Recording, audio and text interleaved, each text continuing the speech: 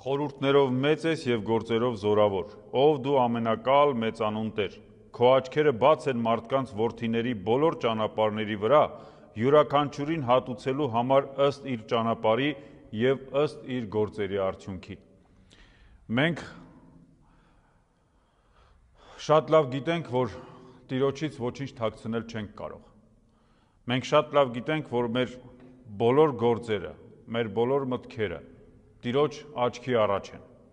Եվ հետևաբար առավել եւս այս մեծ պահքի շրջանին մենք պարտավոր ենք ուղակի կանգնել Տիրոջ առաջ, մեր մեղքերը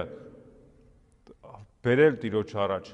փռել նրա ոտքերի տակ եւ խնդրել Տիրոջից թողություն, խոստանալով, որ այս մեղքերը հետագային չեն կրկնվելու։ Պիտի աշխատենք չկրկնել մեր գործած մեղքերը, որpիսի մեր ստացած թողությանը արժանի լինենք։